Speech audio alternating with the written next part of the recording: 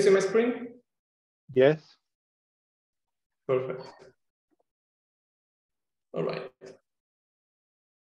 So everyone, I'm uh, Stefano De Angelis, Research Solution Architect at Algorand, and I'm presenting today the Algorand ABI, and I will show you um, how to write ABI compliant smart contracts with the PyTeal. So first of all, what is an ABI? ABI stands for Application Binary Interface, as it's indeed an interface between two components, and uh, two components which are program modules. One of these modules is usually working at the machine, machine code level. And this interface defines the convention on how data should be passed between the component and the encoding and decoding of this data. Right. So let me check if I can write. So Algorand ABI is indeed an interface uh, between uh, a client application and the smart contracts in Algorand. And the Algorand ABI defines the way to call smart contracts and also defines the way for encoding and decoding application arguments and the return values we can get from a smart contract. The, Algorand ABI has been introduced with the ARC4. ARC is Algorand request for comments, which is a, a repository of standards held by the community, the, the, the, community, where they discuss about possible improvements uh, or application use cases on the on the Algorand blockchain. And the ABI has been the result of the ARC4. So this standard define an approach to call smart contract methods and also introduce this new concept of ABI interface description object, which is a human and machine readable JSON file showing all the methods of a smart contract and the, the required input and return values that the smart contract has. So why the Algorand ABI is important? Well, Imagine I'm writing a smart contract. And um, when I write a smart contract, I define the methods. We have seen with Matteo that we have uh, basic types, UINT64 and bytes. And my smart contract takes uh, an argument, which is a, a, string or a Boolean value. So I need to encode that uh, argument somehow in Teal. The problem is that only the smart contract developer knows how the argument has been um, encoded. If we an external application wants to call that, that smart contract could be problematic. So now imagine that as a smart contract developer, I can publish somewhere in a repository an interface showing all the method exposed by my smart contract and all the arguments that should be passed to the smart contract. So this would simplify a lot the life of developers and the client application, uh, allowing the interaction between uh, application and uh, smart contracts indeed. So let's dig into the ABI interface JSON file. So this is an outcome from the ARC4 and the, the standard provides a JSON with the three core type elements, which are called method, interface, and, uh, and contract. So a method is basically uh, the definition of a, of a method in your smart contract and has a name, a description, the, the list of arguments that your smart contract, your method requires, sorry, with types and description, and finally the return value of your, of your method. If we put together a list of methods, we have an interface which defines like the baseline of a ARC compliant smart contract. You can take an interface, you can extend it with other methods and deploy a smart contract on the blockchain. In that case, you are building a contract, indeed, which is a description uh, of a smart contract that currently is deployed in the blockchain. And usually a contract is an extension of an interface. Here, for example, we have a demo smart contract uh, with uh, three methods, and uh, this smart contract was deployed on two networks and with different application ID. So well, we have this kind of object that can expose uh, client applications, uh, very interesting information about our smart contracts, but still there is some problem when we want to call a method and redirect that interaction on the correct execution branch of your smart contract. And to do so, the ARC4 introduced a standard approach for developers. So first of all, it, introduces the concept of method signature, uh, which is a way to identify a method into, into your smart contract. And the, the method signature is composed by the concatenation of the method name, the argument types, and the return type uh, of a method. For example, here we have an add method taking as argument a six, two uint 64 and returning a uint 128. But this is not enough because after the method signature, ARC4 introduced the concept of selector, which is the first byte of the hash of a signature. So here we have the, the whole hash of the signature, and we just take as a selector the first uh, four bytes. And this selector is then used as an actual selector for your smart contract. And the standard says that in your application call, when you call the smart contract, we know that we need to pass parameters, arguments in our application call. And the standard approach says that the first argument of the application call must be the selector. In this way, the smart contract will identify which uh, method you are calling and redirect the execution, the, the correct execution branch. So this is like the basics of uh, the, the ABI introduced uh, with Algorand, uh, with the, within the algorithmic machine. But let's take a look now on PyTeal. So how can we build smart contract in PyTeal and ABI compliant smart contract? First of all, with the introduction of the ARC4, the PyTeal has been uh, uh, improved with the support of new, of new type, data types, and also the logic for encoding and decoding these data types uh, into basic uh, uh, TEAL types. So we have this new family of, of, of data types, which are basic types, reference types, and transaction types. And then we also introduced in PyTeal the standardized approach for redirecting uh, application code to the correct method, as we just uh, as I said before, and also uh, a way to generate that famous ABI interface JSON file. So let's dig into the, the three new type families introduced with PyTeal. As I said, we have two unit, two basic types on the VM stack, which are uint 64 and bytes. With PyTeal, can we can now work with other types that are automatically encoded and decoded basic um, according to the operations required. So for example, here the, we have the list of new types. There is something interesting like the new ABI Boolean type, which is a basically a Boolean value that can be either zero or one, we have static arrays of uh, certain objects T with a dimension n. We have address, so we can define a data type, which is an address, an Algorand address of 32 bytes. And we see here, it's interesting, this is an alias for a static array of bytes uh, with a 32 length.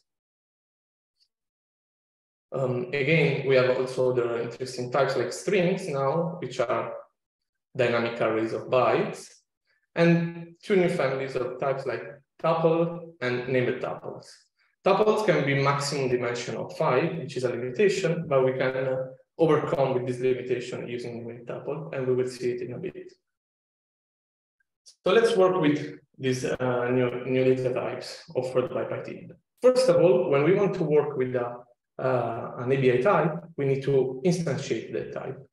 And for doing that, uh, PyTeal integrates the ABI make method for the instantiation of a type. Once we have the, the type, the, the object instantiated, we can also set the value, assigning a value to that to the object. In this exa in example, we are showing uh, how to instantiate um, an address, an ABI address, a Boolean value, a uint 64, and finally a tuple of three elements which are an address again, a Boolean value, and a UINT64. Once we instantiated these values in a PyTeal sequence, we can also set the values of these objects. Here, for example, we are setting the transaction sender as the value for my address um, object.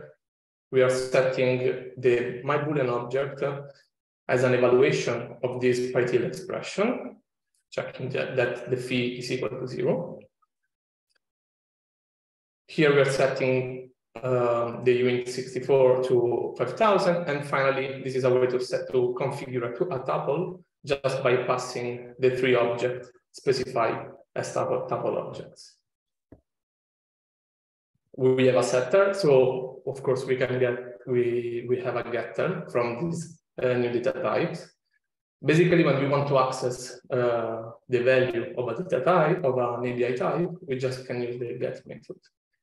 In this example, we are getting the address stored into the my address object using the get uh, method. Name a tuple.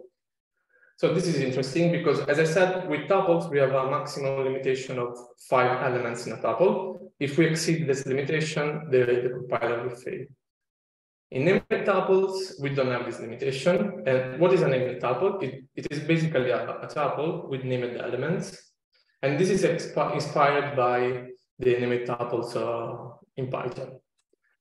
So similarly to Python, when we define a named tuple, we just create uh, a class of tuple extending the ABI named tuple type. And this class needs to um, specify the, the field uh, expressed, expressed in this named tuple. For example, here we have an address and a balance. The fields must be defined with the, the ABI type and encapsulated with this field keyword to determine that these are fields, fields of the named tuple. For the usage, we just instantiate the object, and then we use the set for setting the values into the named tuple, as we have done with tuples.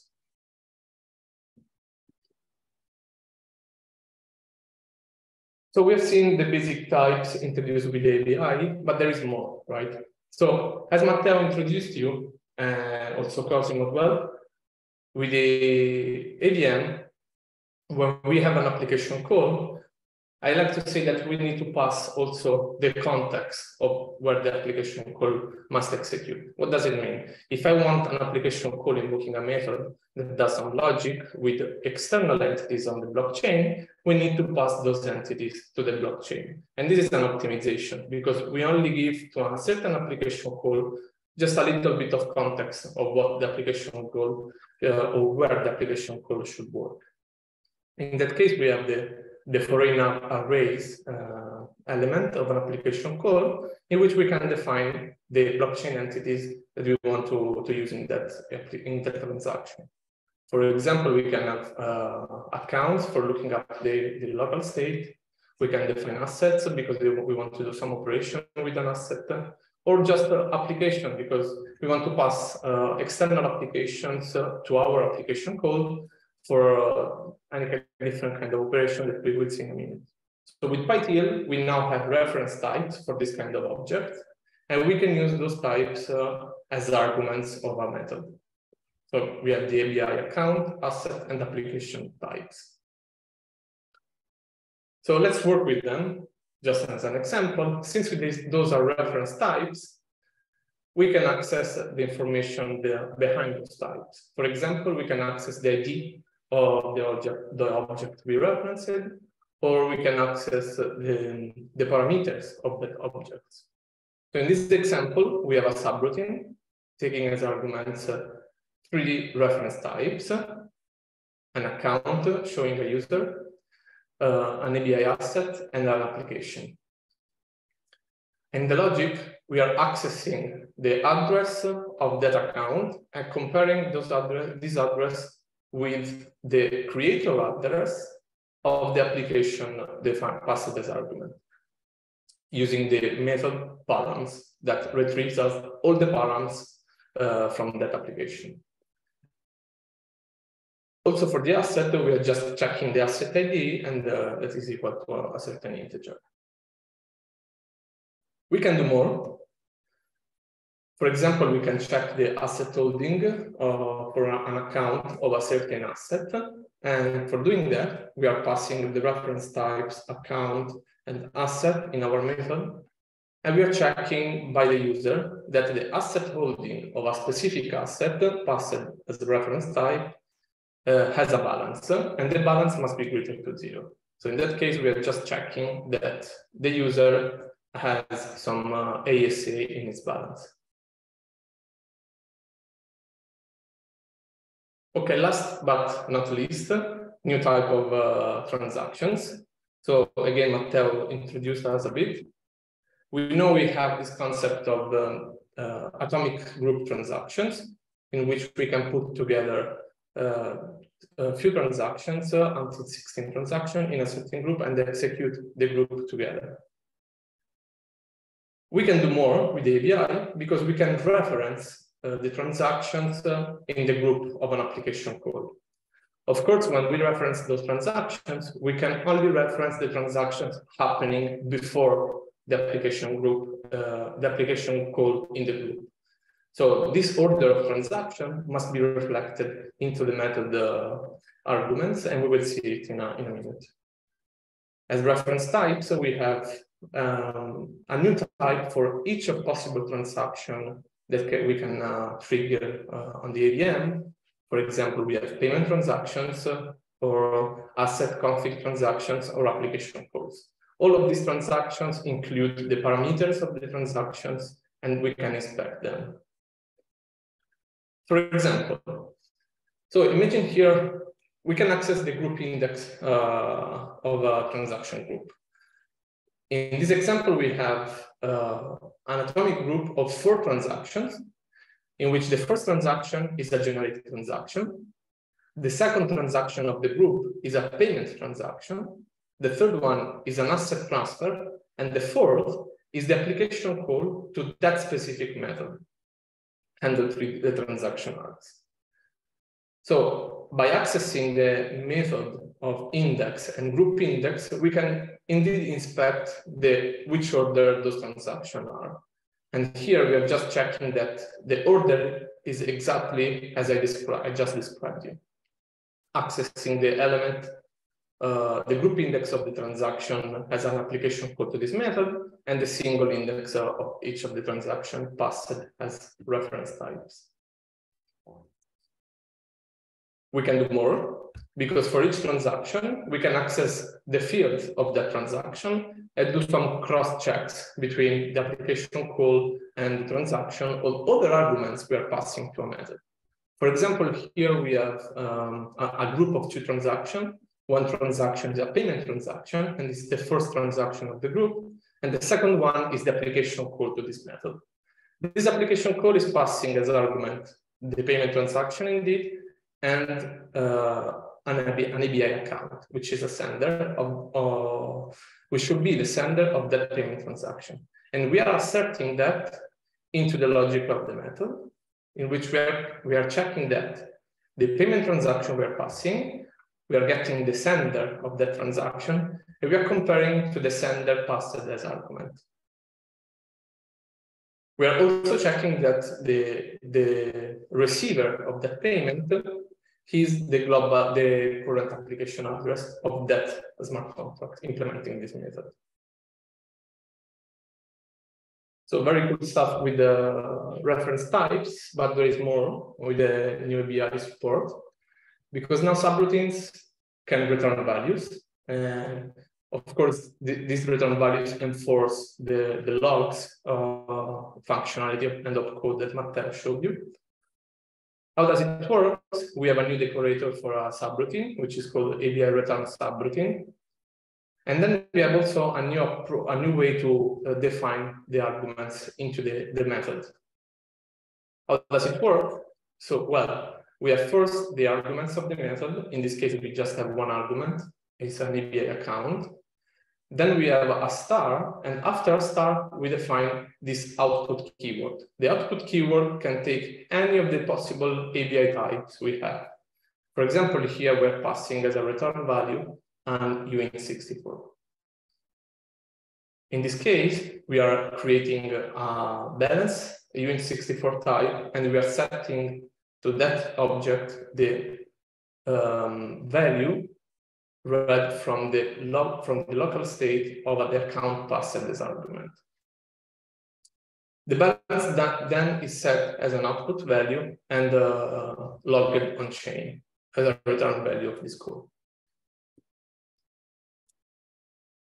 Okay, so we know, we understood how we can use this new uh, data types offered by ITIL, but there is more. Uh, I said that we also introduced the way uh, routing of methods has been implemented in PyTeal, and we will see it here. So now, with the, the concept of methods, we have um, two subtypes of application call transactions that can be triggered uh, against an ARC4 program. ARC4 program is just a, a program uh, compliant with the uh, Algorand ABI. And again, we have two types of uh, application calls. We have a method call and we have a bare call to the smart contract. In the method call, it's just a, an application call to a method that takes arguments and returns some certain value. For the bare call, bare calls are calls to uh, method of the smart contract that don't take arguments and do not return any value on the stack. Bare can then, then divided, and this is uh, interesting, in two types of bare. We can have basic bare and bare that can be executed in the context of an application create. So basically, usually a bare is a, a non-completion action like an opt-in, a closeout, or update, delete smart contract that we don't need to specify any kind of argument. And the, in the context of an application create, we can also, as an effect, produce an opt-in, close-out, update, or even a delete. So we have this distinction here. All this family of uh, application calls, method calls, bare calls, are then organized in a new component introduced with PyTeal, which is the router. The router is um, uh, an object in charge of routing the application calls to the correct execution branch of the smart contract. For example, uh, the router will take care of uh, routing the calls to the right uh, um, PyTeal expressions, and will take care of routing the application calls to methods and encoding and decoding the arguments uh, resulting from uh, the, the, execution of a method using the logs as well. But there is more. So how do we work uh, with the router? So basically, when we have this mixed set of uh, methods and the application calls and the bare calls, we want to um, take the router the lead on our, smart contracts. So for doing that, the router needs to, the, the methods needs to be registered into the, the router. And we have two approaches for doing that.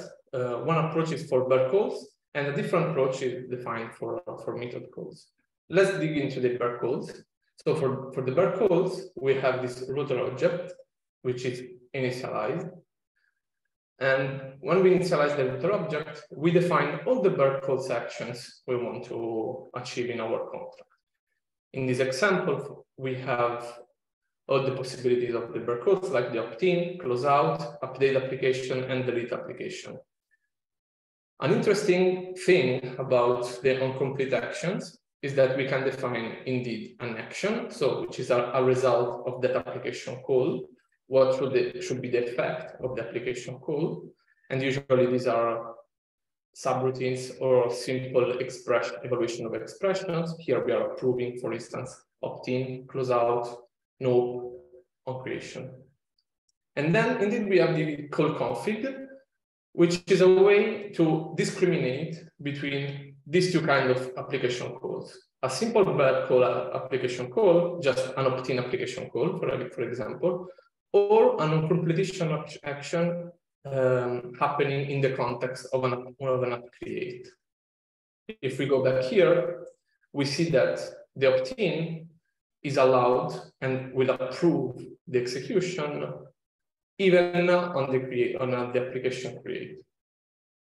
The closeout will approve the closeout application call only when the closeout transaction is triggered against the smart contract, and so on.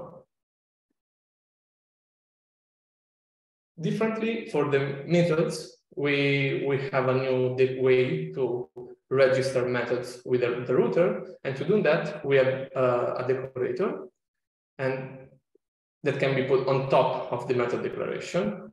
This decorator should indicate the router object plus the method function. And within the method function, again, we can define the call config actions that can be uh, triggered by the method. For example, in this method, we can execute this method either in an OP call or during an opt-in uh, call. The result of a, an opt-in call will be that the method, the method will be executed and the transaction sender will also opt in into the smart contract. Good, we have done. We now have all the information required for implementing ARC4 programs. But we lost something, right? Because we talked about a very interesting interface for smart contract uh, building a JSON, and we haven't seen it in, in PyTeal. For doing that, we need to compile our PyTeal program. And there is a new approach for compiling a PyTeal program, of course, within the router. The router can now, and now exposes the compile program method, which generates all the TEAL code for the approval and the clear state program. But it does more because it also auto-generates the contract object, which is basically the, the JSON object representing the whole contract implemented within our router. In this example, we are calling the router compile program, which returns an approval program, a clear state program, and a contract object. object. And then we can take these programs, these objects, and we can dump them to a file. For example, here we dump the contract object to a JSON file as an example of JSON. We can do more because with PyTeal, we now have the concept of docstrings. What does it mean? Well, if you remember, in the JSON object, we defined the method of the smart contract with the, the list of arguments of each method. But for each method and for each argument, we had a description. There was no way to populate that description since docstrings. With docstrings, we can now have a hat on top of our logic of each method. And this hat will define the description of the methods in the first line, but also of the arguments. For example, here we have a deposit method, which is registered in a router, taking two arguments, a payment transaction and a, a, sender ABI account. There is a description for that method and the list of descriptions for each argument passed by the method. The result will be something like that. So when we compile the, the, the, the program with the compile program uh, function of the router, we'll, we will obtain a JSON with this kind of um, uh, method description, where we have the, the, the type of uh, arguments into the method name, the name of the methods, and the description defined with the docstring. Very cool. And everything is uh, automatic at completion time. So one missing piece here, when we have the TEAL source code of our smart contract, we have the JSON, we need to call it, right? So we don't know how to call smart contracts yet. We have two approaches. The first approach is an off-chain approach using either the SDK or the Goal command line interface of the algorithm daemon. In the first case, has been introduced a new component in the SDK, which is the atomic, atomic transaction composer. Basically, this is an utility for constructing transactions and transaction groups compliant with the ABI methods.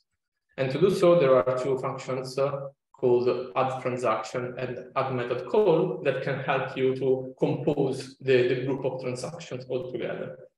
And then the atomic transaction composer will also take care of the execution on chain. On the command line interface, we have two ways for calling the dark calls, as I showed you before, because we have an application call in the context of an application or either a simple application call to a specific action. Both cases have uh, particular uh, command line uh, options. One is the app create and another one is the app with the action desired. Finally, this is new and is just introduced with the new uh, PyTeal, uh, with the new AVM upgrade, is the app method call that we can use uh, for from the command line to, to call a method of the smart contract. We will see in a demo how to use it. Finally, we can also call ARC4 programs from another program. As Matteo introduced you, we have the contract contract call. Basically, what we can do from a smart contract, we can trigger an application call transaction toward another smart contract. For doing that, PyTeal has been uh, uh, improved with the inner transaction object, with an inner transaction object, and a method called execute method call. Here is an example. We have the inner transaction, which is called the inner transaction builder. We can execute the method call, and the arguments must be the application ID we want to call outside from our context, the signature of the method, and the args required by that method. All right, so from theory to practice, now that's it for the ABI uh, theory stuff. And let's see how we can work with that. So for doing so, I want to show you the AlgoBank demo, which is a, a demo uh, available on the documentation of PyTeal. And this is basically the first ARC4 program you, you will see today. What is AlgoBank? It's a smart contract, ABI compliant, which acts as a, an escrow for user funds. It's like a bank.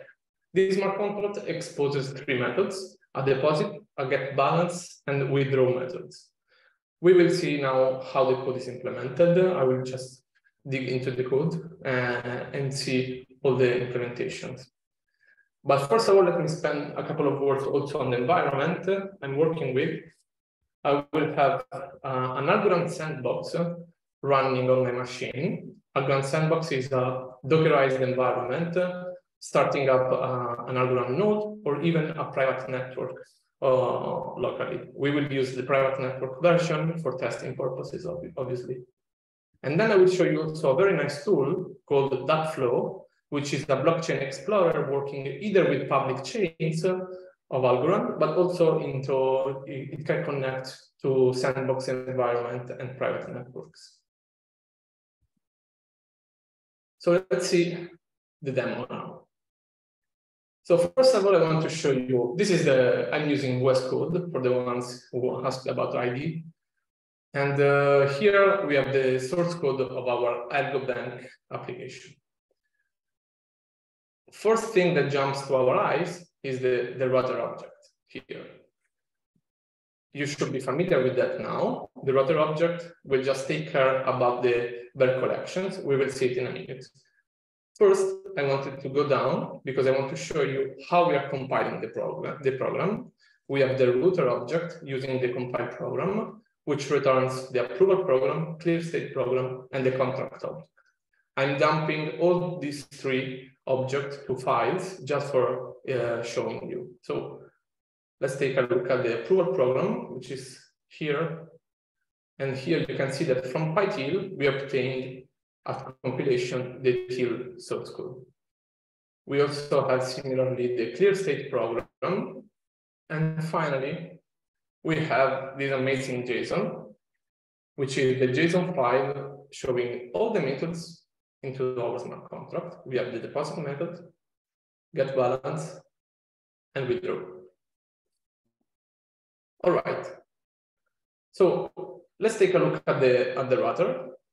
The router is defining the application name, AlgoBank, and the. Bare calls, we have the application creation here, which is approved uh, on create. We have the opt-in, which is approved again, either on create or by calling the opt-in transaction.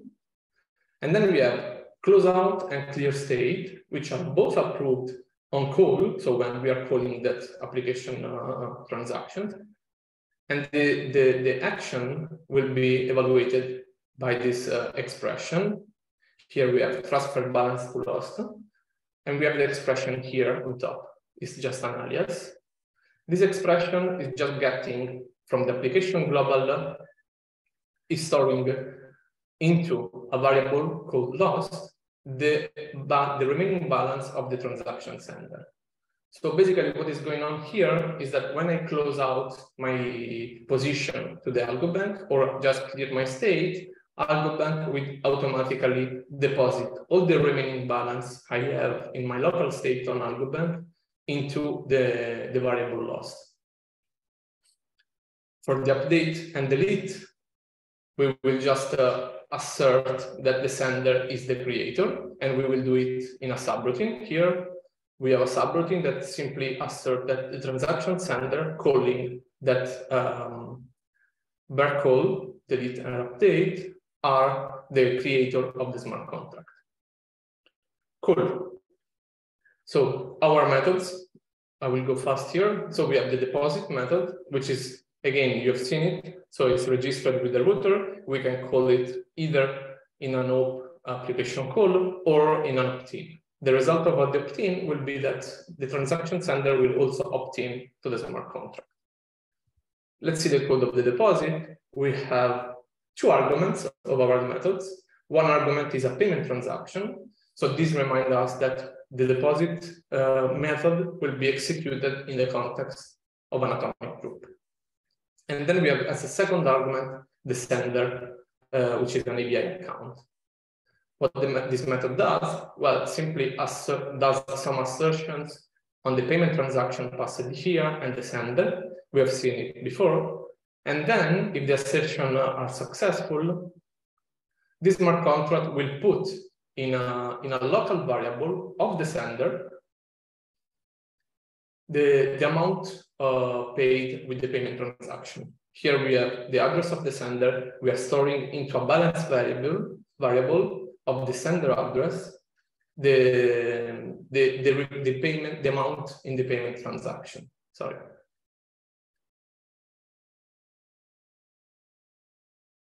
Get balance, this is simply a getter. So basically this is a lookup for the user passed as argument, looking up at the uh, balance stored into the local state of, of that specific user.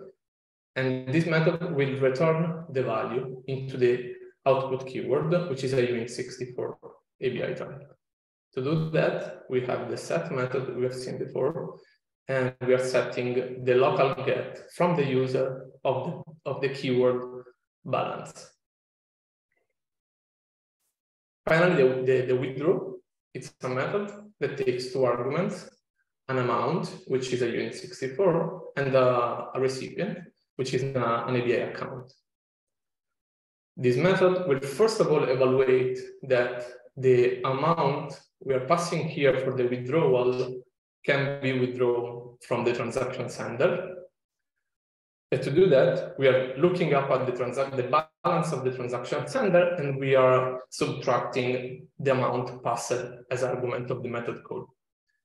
If this is successful, then we can proceed with the withdrawal, and the withdrawal will be performed from the smart contract with an inner transaction. So basically, the smart contract has a deposit of algos, and after the approval of this precondition here, the smart contract will trigger an inner transaction, which is a payment transaction toward the recipient address and the recipient is the user we passed here in reference of a certain amount that we passed here as first argument. Interesting thing is that we are setting the fees to zero because we don't want the smart contract to pay the fees for us. We want to uh, let the clients take care about the fees when calling this method, but we will see it in a minute. So I've done, I've done my homework so I prepared the field for, for you today. And here we have the, what I've done. First of all, as I said, we are working in a sandbox environment. We are into an Algorand node. running in a testnet. I'm using goal, which is the command line interface for Algorand. And first of all, I inspect the list of accounts present in my node. And I return, the, the, the, the goal command returned me three accounts. I took two of them and I aliased them into the environment variables, account one and account two, just for simplicity. Because then I wanted to use the source code of the approval and clear state programs in TEAL for creating the application on the blockchain. To do that, we have the application create command on goal, in which we have to specify the creator of that smart contract, the approval program, which is the algobank approval.teal, here we are, the clear program, which is algobank clear state teal, here we are, just generated from the router um, compiler, and then we have to give to the command the state schema. Matteo introduced you that for smart contract, we, we when we create a smart contract, we also need to define how much state will, will uh, cover on the blockchain. And finally, I also added a, a, a, small note here for identification. I triggered the, the transaction on chain. Here we have the AVM trying to compile the, the, transaction, executing it, and then transaction was approved at round one. We can take this, which is the transaction reference, and use the Dappflow, if I can do that. Here we are, which is a blockchain explorer. Transaction WH3J, here we are. So we can inspect the transaction. flow is a very nice uh, explorer with a lot of functionalities, and we will see through the demo how we can use it. So this transaction was an application code transaction, which created a smart contract with application ID one. We also have the source code of the tier and the clear state. And next thing, we have the node encoded base64 that we see here, AlgoBank. So we deployed our, our application on chain. Now I've done some, let's say, um, administrative stuff. So I exported the application ID. I then inspected here the application info using the application ID, which returned me all the information of this application passed as ID. The information are the ID of the application, the application account here, the creator, and so on. The application of account is quite useful for us today because we want to use it uh, in the algorithm use cases. So I exported the application account to an environment variable just for simplicity. And then I funded my application with a minimum balance. goal clerk send is a way to send a payment transaction with a command line. And I'm sending from account one to application account a certain amount of 0.1 algo. It's just for giving a minimum balance to, to our application. So if we if we go here, we will see that our application has been, we go here, we can inspect the transaction, and we will see that was a payment transaction of 0.1 algo to from the account one to the application, which is the, that address. All right, so we are now ready for interacting with our smart contract. As I said, we, we have three methods. First of all, we want to test the deposit method. What we need for calling that method? Well, we need a payment transaction passing as argument and a sender. First of all, since we need to build a group of transactions, we need to create that payment transaction, which is a payment transaction from an account to the smart contract address. Again, here I have the list of commands for making things faster. So for doing that, I'm using the new command of the command line method. With, the, this, with this command, we are just calling an application method, passing the application ID, and also the method signature. We can compute the method signature just looking at the JSON file here, we have the signature composed by the method name, the arguments types, and the return value. Here we are, we compose the method signature, and now we need to pass the arguments here. But wait, we have a problem. What's the problem here? We don't have the payment transaction. So this transaction will fail if we execute it because we haven't passed the correct payment transaction on chain. So what we will do, we will first create a payment transaction from an account toward the, the, the smart contract. And for doing that, we have a command here, which is again, goal clerk send. You should be familiar with that now from the account number two to the application account. I'm just sending one algo to the application account, but bear in mind, bear with me, I'm not executing the transaction, I'm just outputting the transaction to a file. We can execute it, and now we have the transaction file. So now we can call the method we had before.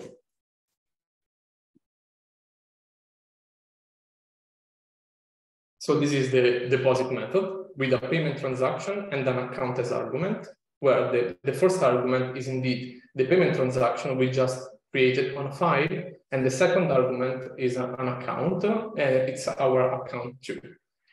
We are sending this application call, well, this method call to from, from account two, and here we are also setting the on completion to opt-in. So this means that when we execute the deposit, we are here. We are calling an opt-in as a on completion of this method.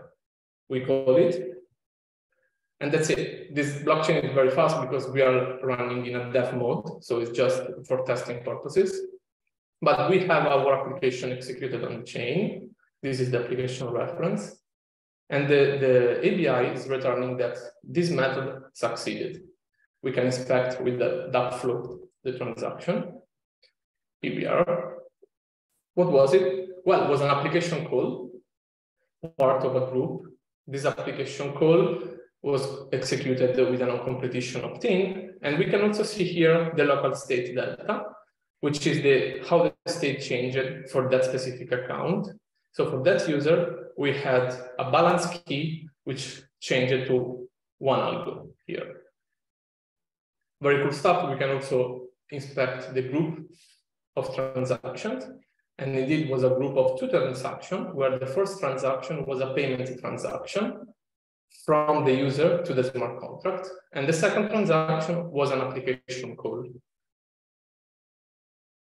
All right, so we now have a deposit succeeded. We can inspect using the getter method the balance of our account.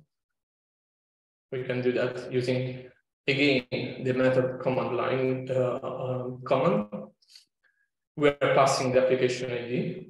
We have the method, which is now um, the get balance method, taking as argument a simple account and returning a value. So here, here we are getting a value in return. The single argument of this method will be the account we just used to send the payment transaction to our smart contract. And we are also sending the transaction from the same account. We execute it on chain and voila. So the, the execution has succeeded. And here we have something very new. So here is very one of the biggest things of ABI because we are getting the result decoded directly from the uh, from the command line. We don't need to care about encoding or decoding of data types. So here was easy because it was just a simple UINT64, but imagine here we have, I don't know, static arrays or named tuples could be very, very challenging for the encoding and decoding. But here the command line is taking care of it. As, as the command line, also the SDKs will do the same job for us. We can also inspect that transaction on the blockchain, sorry. Was an application call again from this sender with this args. And here we have the logs. As you can see, the logs are encoded on chain, but the command line took care about the decoding part for us. So finally, I want to show you also the withdrawal. The withdrawal again has two arguments, the amount, which is an UINT64, and the recipient. Let's take a look at it. I have a method for that. We have here the command for calling that method. We have the withdrawal, taking a UINT64, an account, and returning void.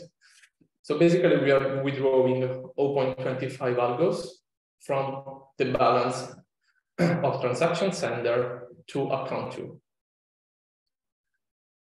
Here, the transaction sender corresponds to account two, so we will just withdrawing from the account two balance.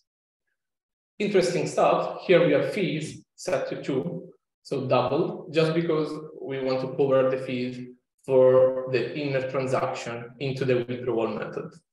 The inner transaction will indeed process the payment towards the, the user we pass as an argument. We executed, method successed. We inspect this transaction with Dappflow.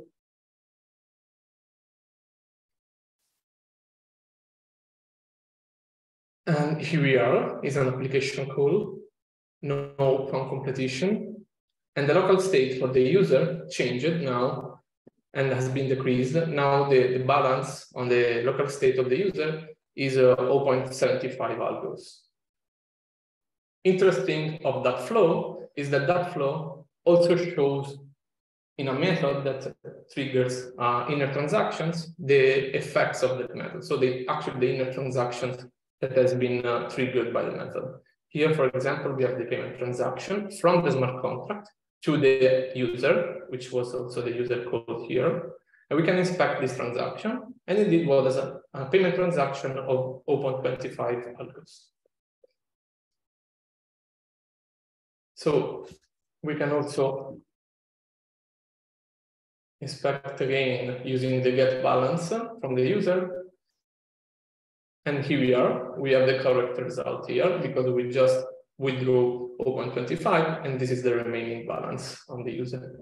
So all good. Last thing I want to show you about Dappflow, which is very interesting. So we have applications here. Now we have only just one application.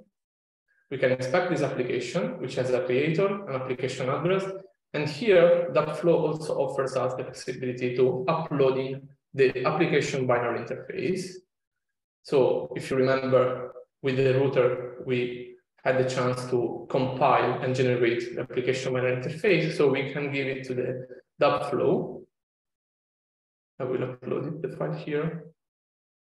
Here we have the JSON of the AlgoBank application loaded here, and here we are. Bam! We now have the all the methods showing into the Dappflow environment. Here we have a deposit method for this application with ID1 and for each method, we have the arguments required, the type of the argument, the description, and also the return value. Same for balance. And withdraw. So imagine now that this application was deployed on the blockchain and the developers of the blockchain just uploaded the ABI here. If you're a client application and you want to use it, you just use Dappflow, inspect the ABI of that application, and you are ready to go for building your client. So this is almost done for the demo part. I will just leave one slide. We have one slide left, which is that one. So we are used to build on Python for the algorithm contract, and it's just a recommendation, but as Matteo said, there are plenty of tools you can use for building smart contracts. Um, we we are used to work with the PyCharm or or VS Code with the AlgoDEA plugin. AlgoDEA is just a plugin that integrates with PyCharm, and it helps you to build transactions, submit application calls, or just initialize new projects for smart contracts, smart signature, and so on. Then we have the Docker with the Algorand Sandbox, tool, and we have seen how useful is that for building and testing smart contracts. Of course, we have the Python SDK for interacting with, uh, with smart contracts, and uh, PyTeal for building, creating smart contracts, and Beaker. We will see Beaker in the next section, and it's like a tool for implementing smart contract uh, in an easier way. Also, this Beaker is built on top of PyTeal.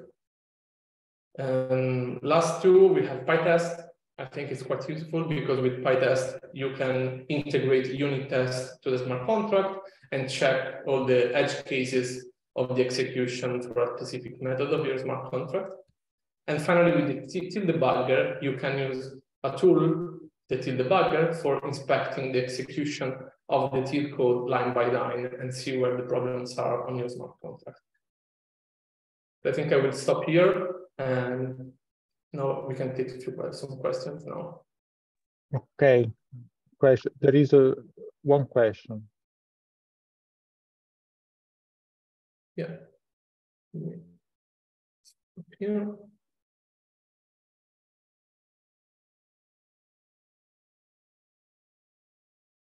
Okay, so in the example we have seen before, we had uh, an ABI interface showing where the smart contract was deployed.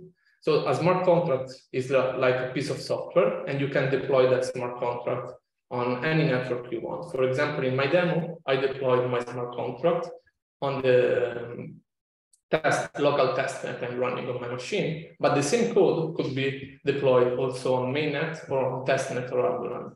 So using the same JSON file, we can say, hey guys, this is the JSON file, and you can find the application either on the mainnet or on the testnet if you want to test it. And when it's on testnet, you have different application IDs that you can reference on your clients for the test parts and for the production part.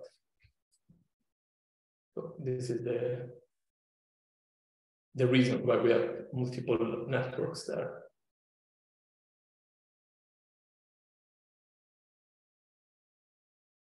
Okay, if there are no further questions, uh, I think we can stop here and start with the next lecture at half past five.